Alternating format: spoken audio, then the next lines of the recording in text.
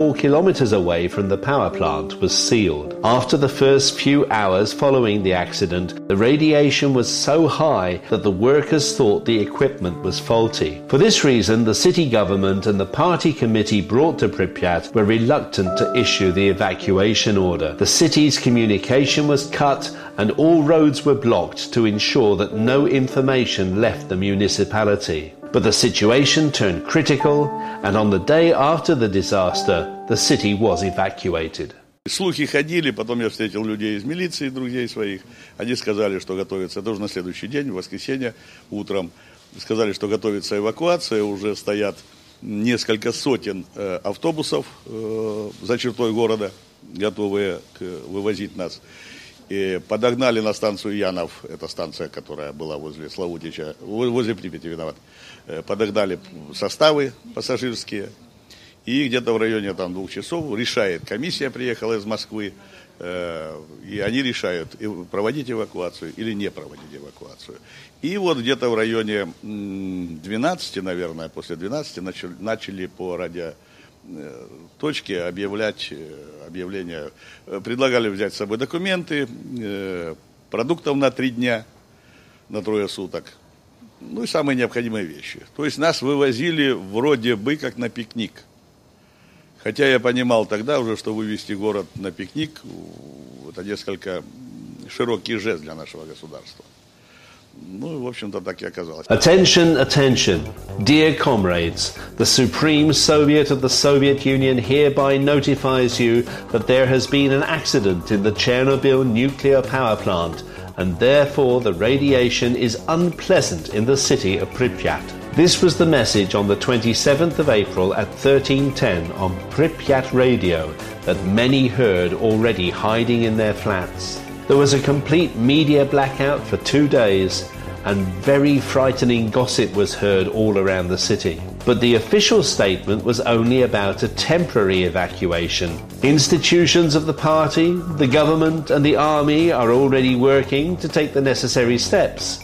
But to provide the security for the people, and especially for the children, a temporary evacuation is necessary to nearby locations in Kiev province.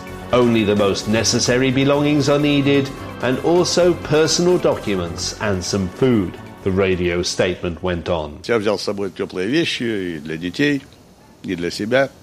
Жена сказала, зачем. Было очень тепло. Было тепло, как летом уже. Просто такая летняя погода. Я говорю, она говорит, зачем мы через три дня вернемся, зачем ты куртки берешь? Я говорю, ну, вернемся, вернемся, куртки привезем. The term evacuation sounded terrible and reminded many people of the world war that had taken place only 40 years before. Their bad feelings only intensified when the long line of more than a thousand buses appeared on the streets of Pripyat. Many did not wait for the evacuation and, bypassing the closed roads, they left the city through the nearby forests. These people got the highest dose of radiation. Когда вот это мы, нас уже повезли, это шла вереница, огромная вереница автобусов. Один за одним, один за одним, один за одним мы ехали через села, стояли люди, плакали. Э, у них было ощущение, что вернул, началась война или что-то в этом роде, и это отступающая там типа армия. Вот. И нас везли по этим селам, э, ну, где-то за 15-километровую зону. Их потом эти села тоже выселяли, куда нас эвакуировали вначале, их потом выселили. Там сейчас зона. И распределяли по семьям. Мы попали в прекрасную семью к двум хозяйкам. Э, если они живы, там, дай им Бог здоровья, конечно. И были там, пока они объявили, что нам можно, нам можно покидать э, зону эвакуации. Вот там, никаких, никакой информации, никакой, ничего нигде. Абсолютно. В телевизоре песни, танцы, фильмы, ну, как обычно. At 2 o'clock in the afternoon on the 27th of April, a Sunday, buses arrived at the apartment blocks. A policeman was issued to each stairwell to lead the evacuation. By then, the police had the complete evacuation plan and they knew where each bus was headed. When the signal was issued over the walkie talkies, the mass of buses left the city at once. By 1630, the evacuation had ended and the process was complete.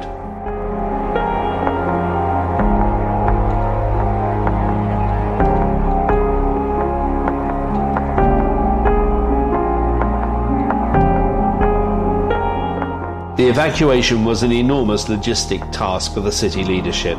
After the decision was made, they had less than 24 hours to evacuate and transport about 50,000 people to temporary accommodation. Я приехал на строительство города 23 марта 1987 года. То есть здесь 24 года, из них 21 мэром.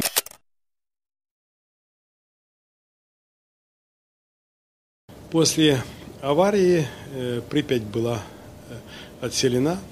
Это 54 тысячи жителей.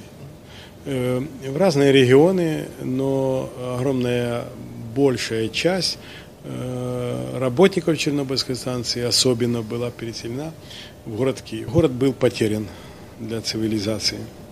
Город мертвый сегодня. 1 мая мы уехали оттуда. 1 мая мы из Киева взяли билеты. Без очереди нас пропускали везде, только стоило сказать, что я из Чернобыля, из Припяти. Вот, без очереди. In the first few months following the catastrophe, Pripyat became a conservated reserve. Along the pavements, flowers grew in organized rows. There were still goods in the shop windows, and for a long period, even the traffic lights continued to operate. But there were no cars on the roads and no passers by on the pavement.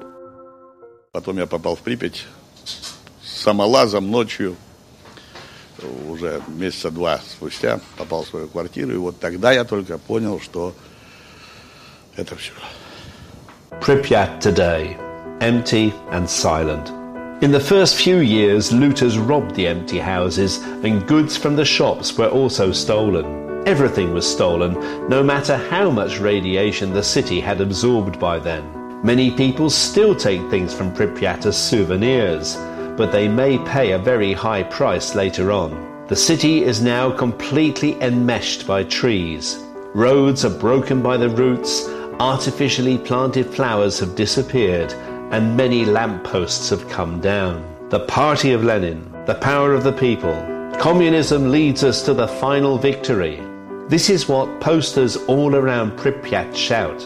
Buildings are decorated with red stars, the hammer and sickle, and the coats of arms of the Soviet republics. Pripyat may well be the last place on earth to conserve a little Soviet Union in its 1980s state. The main road of the city, now completely overgrown with plants, is still decorated with posters of the 1st of May parade.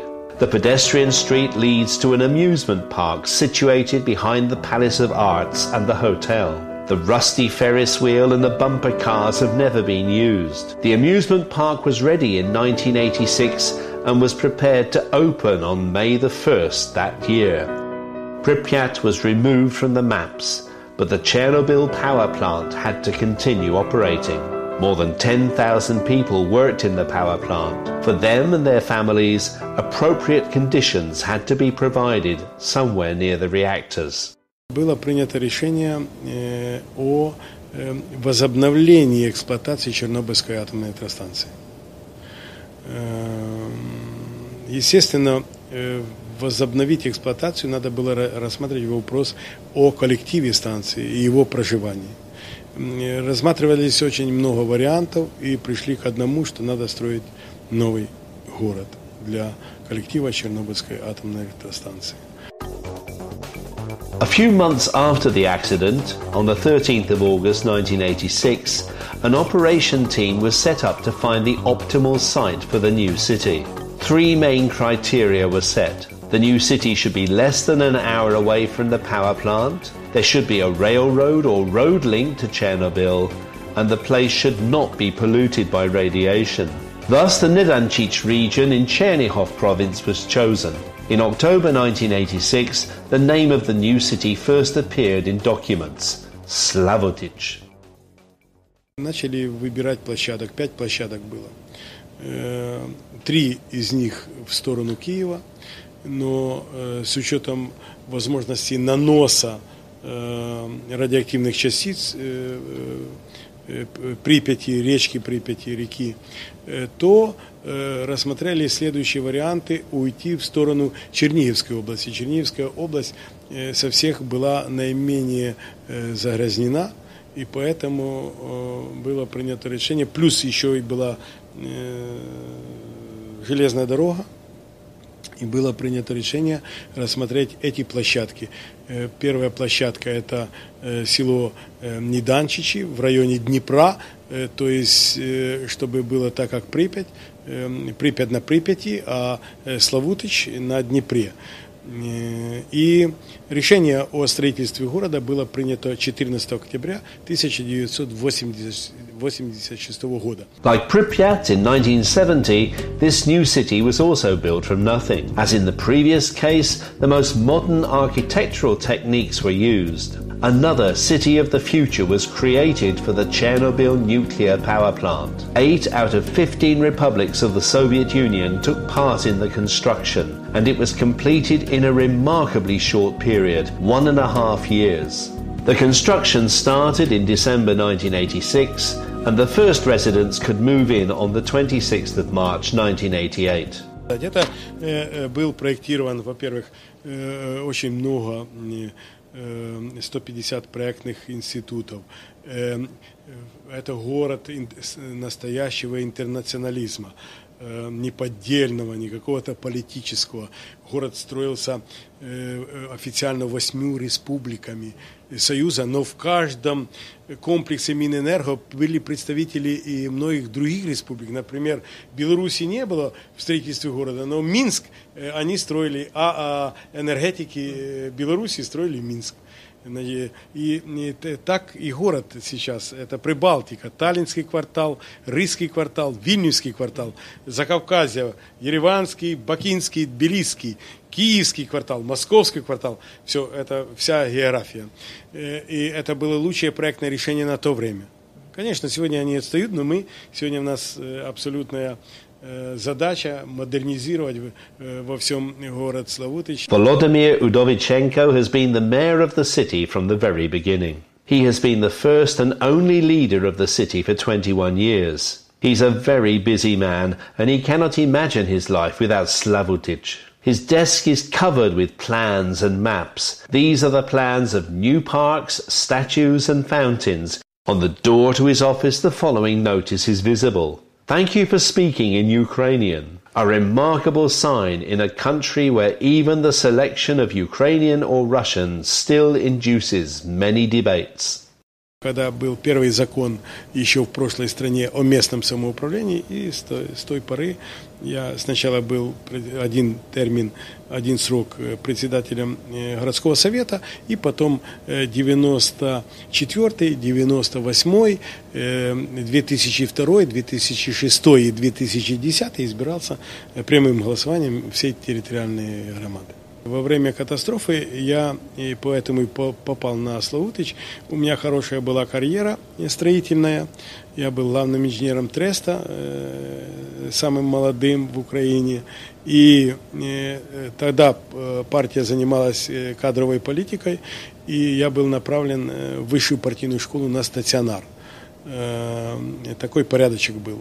И э, из стационара высшей партийной школы меня попросили поехать на строительство города Славутича. И я с семьей, ну, сначала без семьи, год без семьи, дал согласие и приехал на строительство города. Потом и семья переехала, вся семья моя, жена с Киева переехала в Славутич. It is inevitable that we ask how the area of Slavutich was affected by radiation, since the city is only 50 kilometers from the Chernobyl nuclear power plant and 20 kilometers from the border of the zone. Reports of the KGB are very unclear about this. They state the area selected for Slavutich is cleaner than the other possible locations. It is quite unfortunate that for logistical reasons the city was built close to existing railroads. After the rescue efforts following the Chernobyl disaster, the passing trains left behind a radioactive trail that polluted the locations of the railroad tracks. During our visit to Slavutich, our team constantly measured radiation. However, the values turned out to be lower than in Kiev. The radiation coming to these territories was probably absorbed by the huge forests lying around the city. The mayor says that living in Slavutich today is less dangerous than living in the Ukrainian capital, Kiev. The upper layers of soil were changed